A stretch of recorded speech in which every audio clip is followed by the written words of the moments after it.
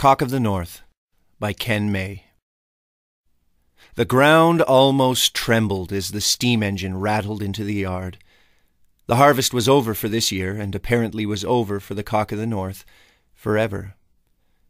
Grandpa was the boss of the steam engine. He kept it oiled, greased, watered, and fired. Next to horses, it was dear to his heart. The steam engine moved slowly across the yard as Grandpa parked it on the lee side of a row of Manitoba maples.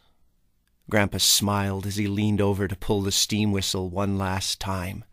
He knew what havoc it would create in the house as the kids would attempt to hide under the table, holding their ears. Elsie, his son's wife, would be calming kids and hurrying supper along so as to be prepared for the threshing gang. They were always ravenous. Grandpa moved around the steam engine with his dust cloth, wiping off bits of dirt and grease as he said goodbye.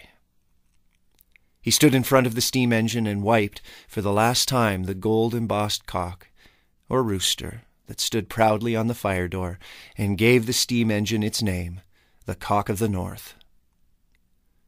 Farming was changing so quickly.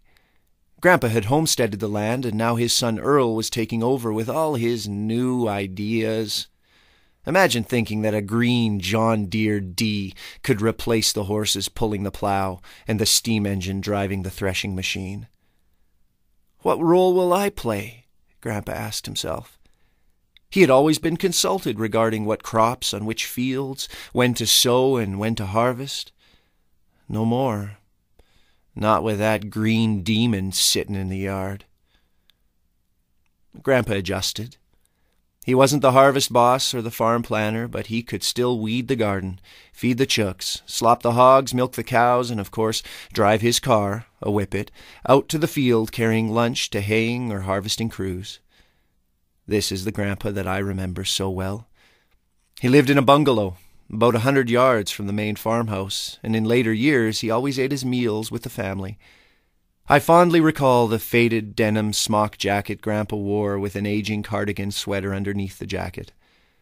Sometimes the kids would hover near him in hopes that he would reach into the sweater pocket and pull out a mint.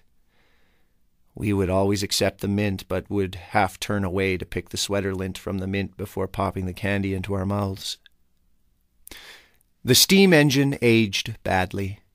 It quickly rusted, and the hands and feet of many kids tearing across its surface hastened the aging. Grandpa did his best to keep us off the Cock of the North, but seven kids were too much of a challenge in his mature years. Grandpa aged slowly and wisely.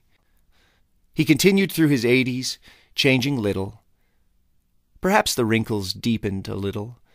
Perhaps the nose became more prominent. Perhaps the evening walk to his bungalow became a little more tentative.